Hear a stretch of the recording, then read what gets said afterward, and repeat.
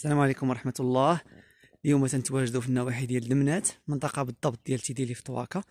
آه عندي واحد المعلومات بغيت نشير ليها بخصوص أنواع ديال التربة والعلاقة ديالها مع السقي.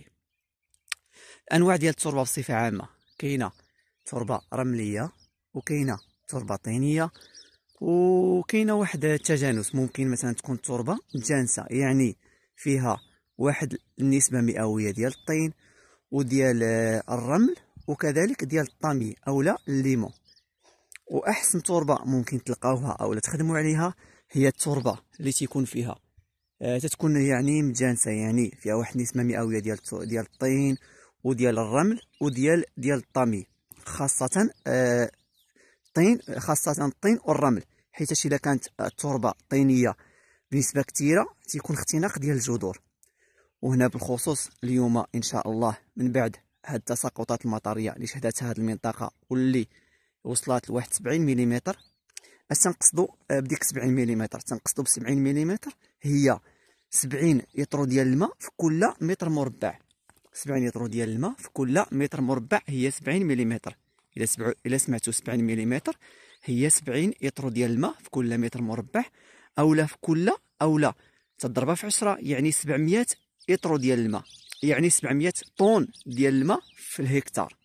هذيك هي 70 ملم دابا غنجيو للتربة ديالنا. هنا تربة في هذه المنطقة هذه ما شاء الله. هنا تتبان ليا تربة فيها واحد النسبة ديال الطين.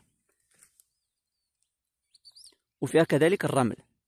ممكن تكون ممكن تكون هنا واحد التربه اللي اللي آه، القيمة ديالها ممكن تكون واحد 30% ديال ديال ديال الطين هنايا في التربة. هذه تربة ممتازة. وهنا بغيت نشير لواحد النقطة هي بعض الناس تيسألوا كيفاش غادي نسقيو كيفاش غنسقيو أشجار مثلا هاد الأشجار هادو ديال الزيتون كيفاش غادي نسقيوهم؟ هنا واحد القاعدة بغيت نشير ليها هي أن السقي تيتعلق بجوج ديال العوامل الاساسيه واللي هي النوعية ديال التربة وكذلك الجو.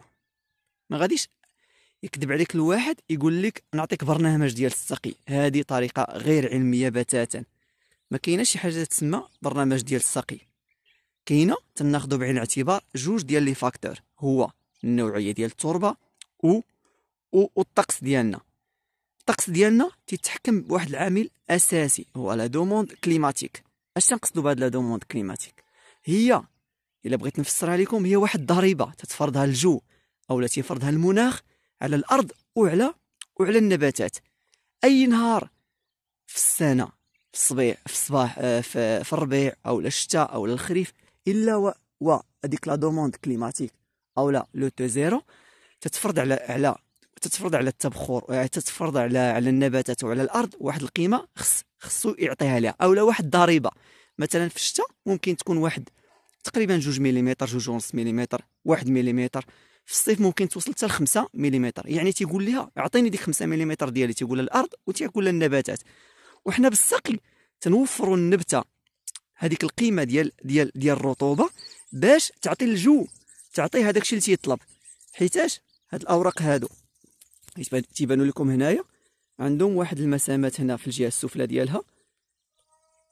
هذيك هذيك المسامات تتستجب la demande climatique. وخصكم تعرفوا بأن 90% ديال الماء اللي تيمصو النبات راه خاصة تيمشي أو أكثر من 90% تيمشي تيمشي للهواء باش يستجب لهذيك الضريبة ديال الجو. إلا بغينا نسميوها الضريبة ديال الجو.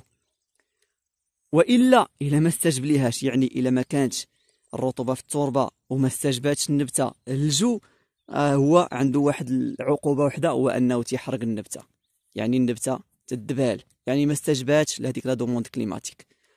وهاد la demande climatique باش غادي نلعبوا عليها قلنا هو ال facteur الأول أو هو العامل المحدد في السقي ماشي؟ يقول لك الواحد راه غنعطيك برنامج ديال السقي هو اللي غدير هنا في النواحي ديال دمنات وهو النواحي ديال الجنوب والنواحي ديال الشمال. هذه طريقة غير علمية. تنشوفوا أول حاجة المناخ ديال ديال الجو ديالنا هو اللي تنلعبوا عليه. وثاني facteur اللي تنشوفوا أو ثاني عامل هو التربة.